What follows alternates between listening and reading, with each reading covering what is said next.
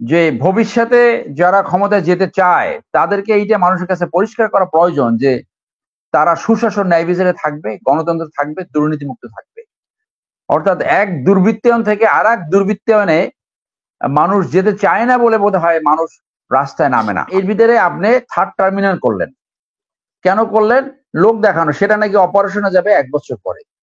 অথচ এই বিমানবন্দর থেকে মাত্র পাঁচশো গজের ভিতরে দক্ষিণ খান, আপনি যদি যে কেউ এখন যাক, সেই রাস্তায় হাঁটু পরিমাণ পানি পাবেন অর্থাৎ এই যে মেগা প্রজেক্টের নামে মেগা লুটপাট, এইটা ওই স্বৈর স্বৈরতান্ত্রিক শাসক, অর্থাৎ লুম্পেন ক্যারেক্টার যারা থাকে, লুটেরা ক্যারেক্টার তাদের ক্যারেক্টারই হয় এটা, যে জনগণের ভোগান্তি তাদের কখনো মাথায় আসে করবে যদি আঠাইশ তারিখের আন্দোলন যদি রেভুলেশনের রূপ নেয়, তাহলে পতন হবে।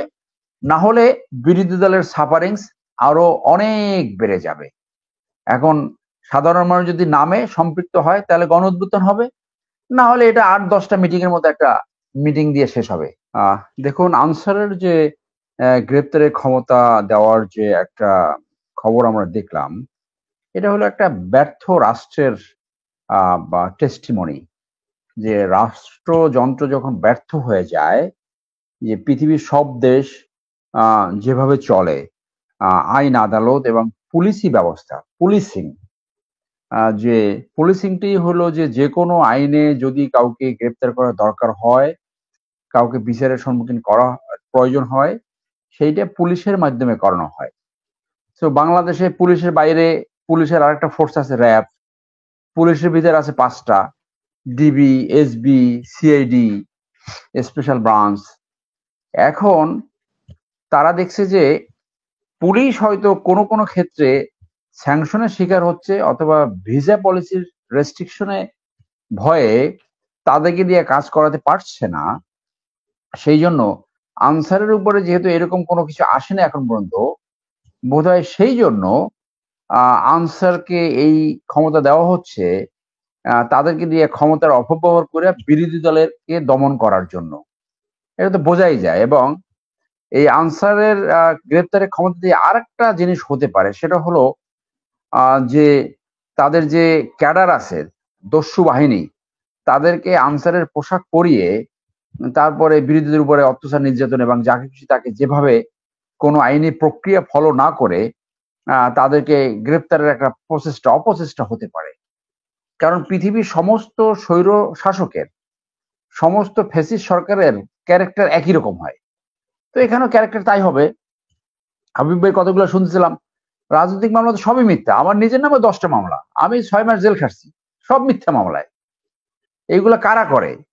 এইগুলা করে যখন জনভিত্তির উপর একটা সরকার না থাকে, তখন তারা এরকম বাহিনী, এজেন্সি, পার্শ্ববর্তী দেশ, এদের এদেরকে সাথে রেখে, এদের এদের দয়ায় ক্ষমতায় থাকার চেষ্টা করে। এবং এই তাদের দয়ায় যখন থাকতে হবে, তখন তাদের বিরুদ্ধে কোনো ব্যবস্থা নিতে পারে না একদিকে, অন্যদিকে তাদেরকে খুশি রাখতে হয়। এবং সেই খুশি রাখার প্রক্রিয়া আপনি দেখেন যে সাড়ে তিনশো কোটি টাকার নতুন গাড়ি ইলেকশনের আগে। কেন? এটা তো কোনো প্রয়োজন নাই। গাড়িতে তো এমনিতে ভরা। জনগণ যেখানে বিভিন্ন ভাবে অর্থনৈতিক সংকটে ভুগছে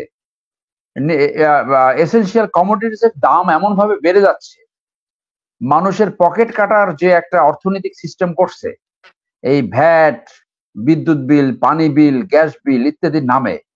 মানুষের তো যা ইনকাম করে তার ফিফটি পার্সেন্ট এইভাবে চলে যায়।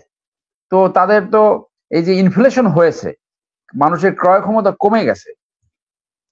তো আপনার সেই জায়গায় আসতে হলে যে এই সরকারটা এই যে ক্রমান্বয়ে কর্তৃত্বপরায়ণ থেকে একদম চরম কর্তৃত্বপরায়ণ হয়েছে, সেইটা তো একদম অত্যন্ত পরিষ্কার।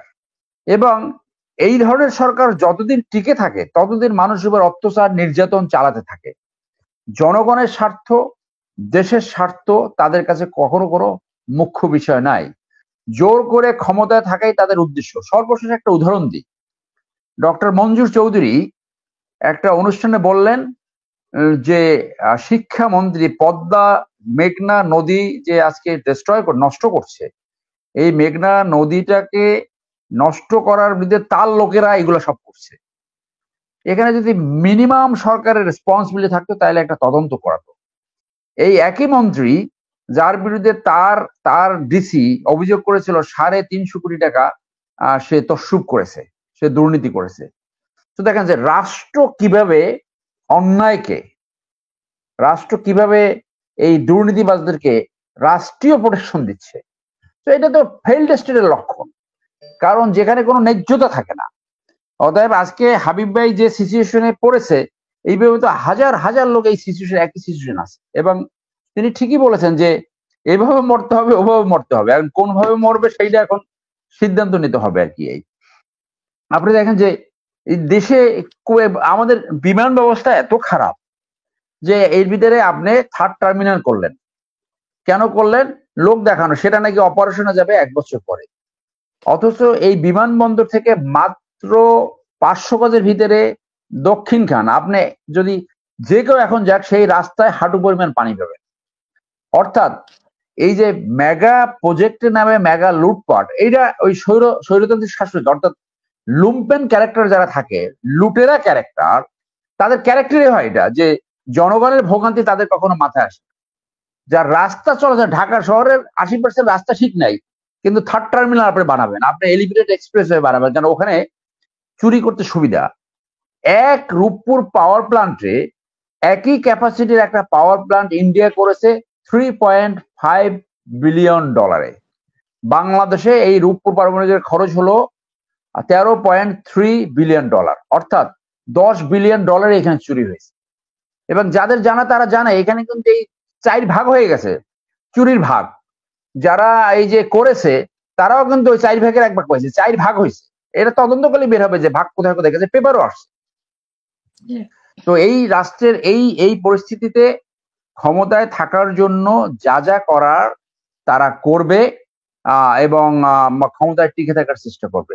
যদি আঠাইশ তারিখের আন্দোলন যদি রেভুলেশনের রূপ নেয় তাহলে পতন হবে। না হলে বিরোধী দলের সাফারিংস আরও অনেক বেড়ে যাবে। এখন সাধারণ মানুষ যদি নামে সম্পৃক্ত হয়, তাহলে গণ উদ্বোধন হবে। না হলে এটা আট, দশটা মিটিং এর মতো একটা মিটিং দিয়ে শেষ হবে।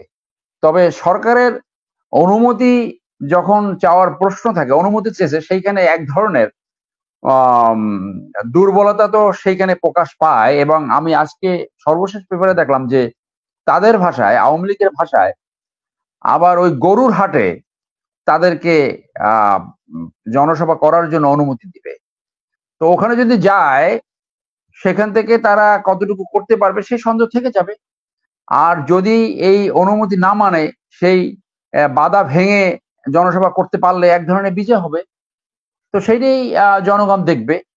সেইখানে আমাদের বক্তব্য হলো যে, আজকে যে দুর্বৃত্তাই তো রাজনীতি চলছে, যে ভবিষ্যতে যারা ক্ষমতায় যেতে চায়, তাদেরকে এইটা মানুষের কাছে পরিষ্কার করা প্রয়োজন যে তারা সুশাসন, ন্যায় বিচারে থাকবে, গণতন্ত্র থাকবে, দুর্নীতিমুক্ত থাকবে। অর্থাৎ এক দুর্বৃত্তায়ন থেকে আর এক দুর্বৃত্তায়নে মানুষ যেতে চায় না বলে বোধ হয় মানুষ রাস্তায় নামে না আন্দোলনে শরিক হচ্ছে না। এইটা পরিষ্কার করতে পারলেই রেভলিউশন হয়ে যাবে। আহ তো সেইটা কতটুকু করতে পারবে, সেইটাই কি দেখা পাবে এবং সিচুয়েশনটা দুইয়ের ছয়ের মতো হয়েছে। দুই হাজার ছয়ে যেরকম সামনাসামনি একটা মল্লযুদ্ধের মতো একটা সিচুয়েশন সৃষ্টি হয়েছিল আওয়ামী লীগ যেখানে সাপের মতো পিটিয়ে মানুষ মেরেছিল, যার পরে অন ইলেভেন আসছিল। অন ইলেভেনের আরও অনেক কারণ ছিল। দুই এক থেকে ছয়ের যে শাসন ব্যবস্থা ছিল, সেটাও অন ইলেভেনের কারণ ছিল। তো এইরকম একটা সম্মুখ যুদ্ধে আমরা আসি এবং দুর্ভাগ্য হলো যে আমাদের দেশটা বাউন্ন বছরে এইরকম নেতা আসলো না এরকম পরিস্থিতি হলো না যে শান্তিপূর্ণভাবে ক্ষমতা হস্তান্তর করবে। যার জন্য এই ধরনের সিচুয়েশন দেশের জন্য, দেশের মানুষের জন্য অত্যন্ত ভয়াবহ খারাপ সংবাদ। মানুষের মানুষের পিঠ ওয়ালে ঠেকে গেছে মানুষ মারাত্মকভাবে নিষ্পেষিত হচ্ছে। এখন যদি মানুষ রাস্তায় নামে তাহলে হয়তো এই ফেসিস সরকারের বিদে হবে বলে আমি মনে করি। ধন্যবাদ।